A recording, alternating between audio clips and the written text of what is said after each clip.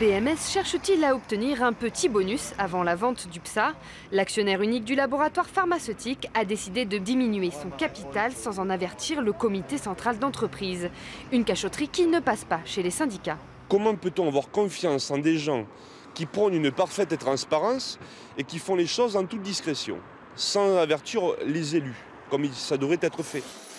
Déjà en juillet dernier, les salariés avaient appris la vente du laboratoire à Genève par le journal Les Échos. Aujourd'hui, ils craignent pour l'avenir de l'entreprise. On peut se poser la question, est-ce que les repreneurs étaient au courant?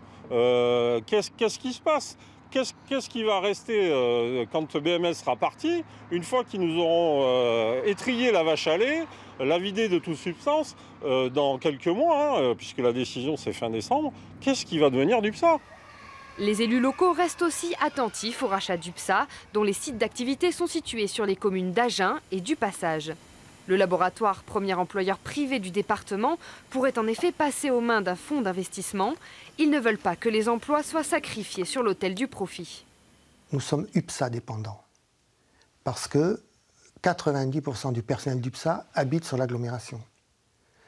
Et, et, pour nous, en termes euh, économique, en termes de développement, en termes social.